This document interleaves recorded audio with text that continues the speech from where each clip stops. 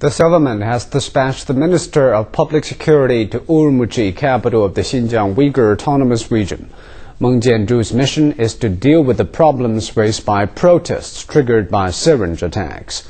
He's directed local officials to restore social order as quickly as possible. Ren Ting has the story. Meng Jianzhu held a meeting with local officials shortly after he arrived in Urumqi early Friday morning. He said the CPC Central Committee and the central government attach great importance to stability in Xinjiang. He said maintaining stability is the central task in the region right now.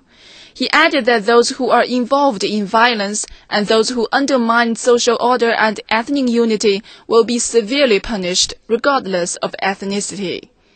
Meng Jianzhu later visited soldiers and armed police units deployed in the city. He also visited a residential community to talk to local residents.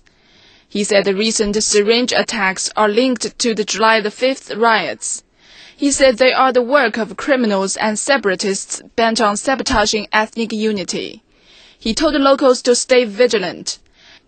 He also asked the residents to be patient with regard to current traffic restrictions, which are needed to maintain social order.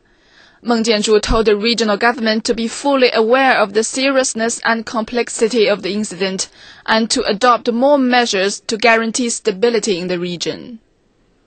Ren Ting, CCTV. A senior government official says the situation in Urumqi has been brought under control. He made this statement late Friday after residents took to the streets the previous two days to protest against the hypodermic syringe attacks. Executive Deputy Mayor Zhang Hong said there were no major demonstrations in the city on Friday, one day after massive protests left five people dead. Small crowds gathered on Friday but soon dispersed. A spree of syringe attacks carried out since August the 20th have resulted in panic and resentment by the public. Several suspects were caught Wednesday while attempting more assaults. Investigations say the captured syringe attackers are ethnic Uyghurs while their victims were Han Chinese and other ethnic minorities. By Thursday, more than 531 people had been hospitalized after being stabbed.